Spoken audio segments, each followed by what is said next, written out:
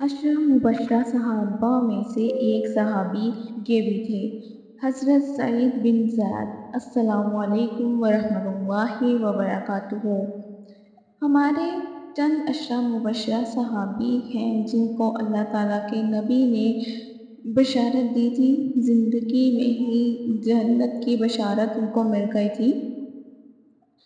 ان میں سے حضرت ابوبکر صدیق رضی اللہ تعالیٰ عنہ حضرت عمر فاروق رضی اللہ تعالیٰ عنہ اور حضرت عثمان رضی اللہ تعالیٰ عنہ حضرت علی رضی اللہ تعالیٰ عنہ حضرت ابو عبیدہ بن جرہ رضی اللہ تعالیٰ عنہ کا ذکر کر چکی ہوں جو اشرا مبشرہ میں سے ہیں اب یہ بھی اشرا مبشرہ والے صحابی ہی ہیں جن کو اللہ تعالیٰ نے دنیا میں ہی جنت کی بشارت دے دی تھی ان کے بارے میں کچھ حالات و واقعات پڑھ لیتے ہیں۔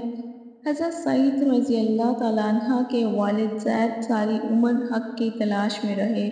آخر کار جب ملک شام میں ان کے والد ماجد کو اس بات کی خبر ملی کہ مکہ معظمہ میں اللہ رب العزت ایک نبی اللہ ایک نبی کو مبعوث فرمائے گا، جو دینی ابراہیم کی تجدید کریں گے۔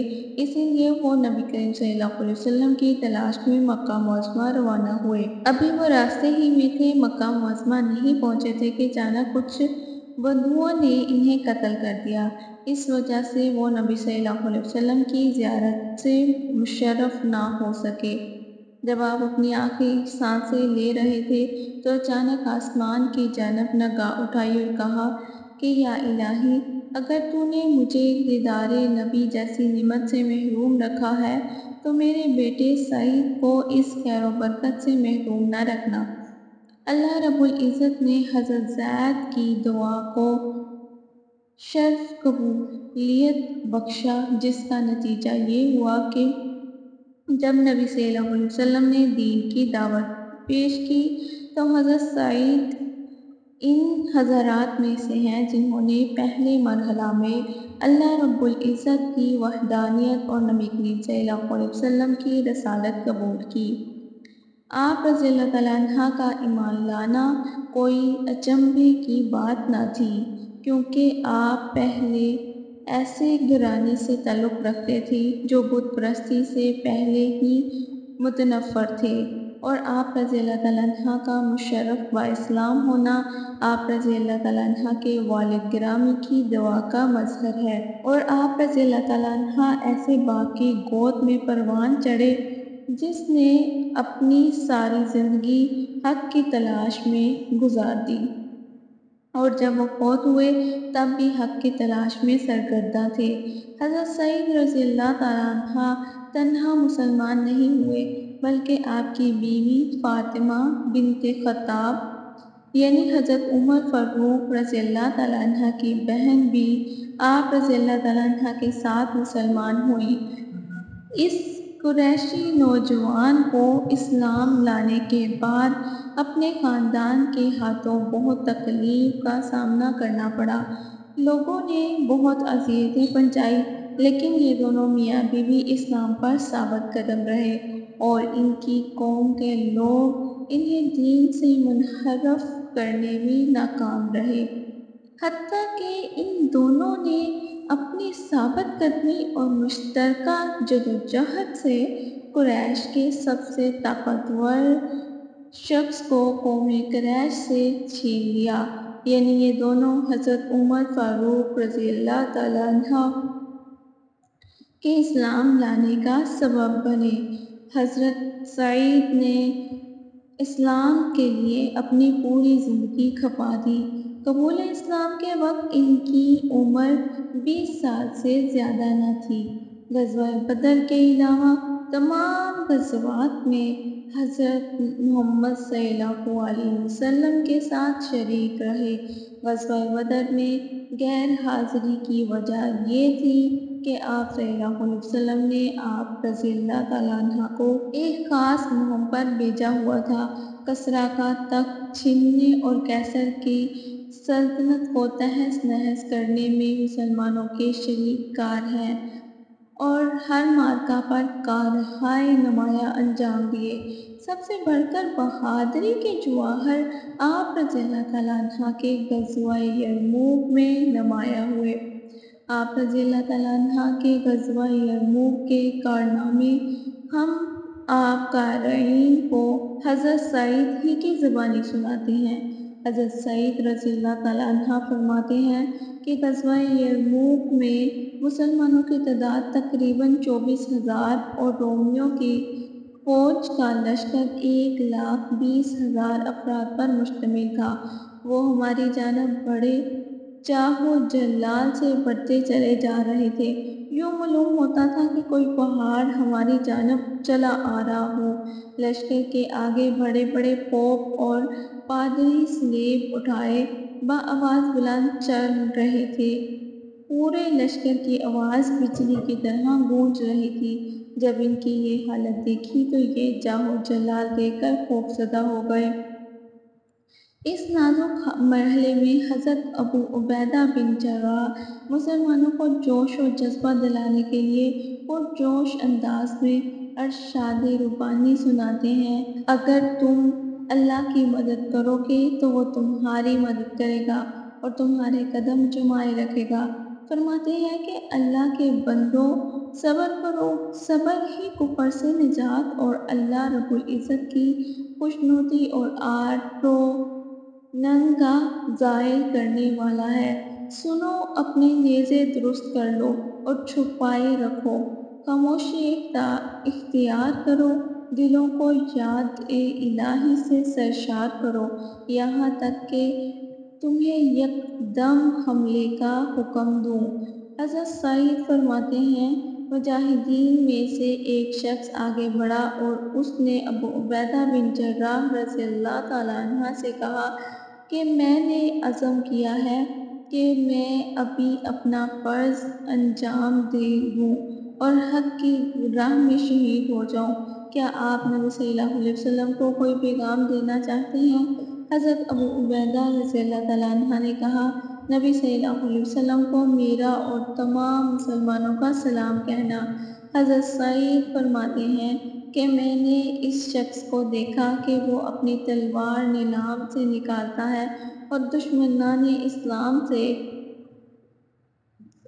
لڑتے ہوئے آگے بڑھتا ہے اور اس کے بعد میں نے شست لگائی، اپنا گھٹنا باندھا اور اپنی تلوار کو سنبھالا۔ دشمن کے اس شاہ سوار کو نشانہ بنایا جس نے اسلام کے لشکر کی جانب سے سب سے پہلے پیش قدمی کی تھی۔ پھر میں جذبہ جہاد سے سرشار ہو کر دشمنوں پر ٹوٹ پڑا۔ اللہ رب العزت نے دشمنوں کا خوف میرے دل سے بالکل نکال دیا۔ تمام مجاہدین اس وقت تک برسر پیکار رہے جب تک کہ فتح و نصرت مسلمانوں کو نصیب نہ ہوئی۔ اس کے بعد حضرت سعید رضی اللہ تعالیٰ عنہ کو فتح دمشق میں شامل ہونے کا شرف ملا۔ جب باشندگان دمشق نے مسلمانوں کی اطاعت قبول کر لی تو حضرت ابو عبیدہ بن جراح رضی اللہ تعالیٰ عنہ نے آپ رضی اللہ تعالیٰ عنہ کو دمشق کا گورنر بنا دیا۔ آپ رضی اللہ تعالیٰ عنہ پہلے مسلمان ہیں جنہیں دمشق کا گورنر بننے کا اعزاز حاصل ہے۔ بنو امیہ کے دور خلافت میں حضرت سعید بن زید رضی اللہ تعالیٰ عنہ کا ایک ایسا واقعہ پیش آیا جو بہت مدت تک باشندگان یثرب کا موضوع گفتگو بنا رہا۔ واقعہ یہ تھا کہ عروہ بنت عمیس نے یہ الزام لگایا کہ حضرت سعید بن زید رضی اللہ تعالیٰ عنہ نے اپنے اختیارات سے فائدہ اٹھاتے ہوئے میری کچھ زمین غصب کر کے اپنی زمین میں شامل کر لی ہے۔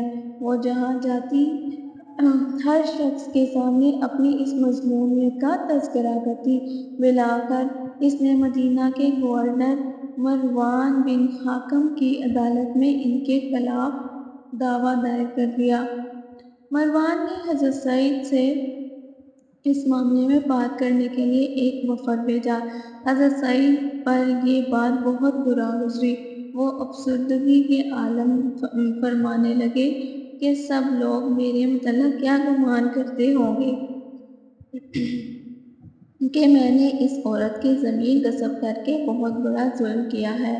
میں بھلا اس گھونسلے عمل کا ارکاب کیسے کر سکتا ہوں جبکہ میں نے نبی صلی اللہ علیہ وسلم کا یہ فرمان سنا ہے کہ جس نے کسی کی ایک بالشت زمین بھی ناحق اپنے حق میں لی، تو قیامت کے دن اس کے گلے میں سات زمینوں کا توق ڈالا جائے گا۔ اس کے بعد دربار الہی میں عرض پردار ہوئے کہ یا الہی، تو جانتا ہے میں بے گناہ ہوں میں نے اس عورت پر کوئی ظلم نہیں کیا۔ الہی تو جانتا ہے کہ وہ جھوٹی ہے۔